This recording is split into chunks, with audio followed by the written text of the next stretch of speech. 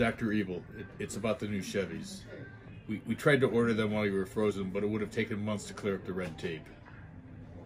You know, I have one simple request, and is to have new Chevys with laser beams attached to their hoods. Now, evidently, my cycloptic colleague informs me that this can't be done.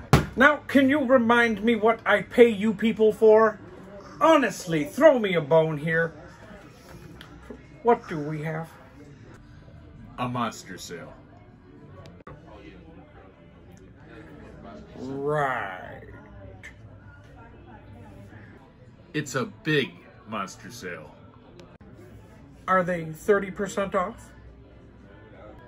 Absolutely. That's a start.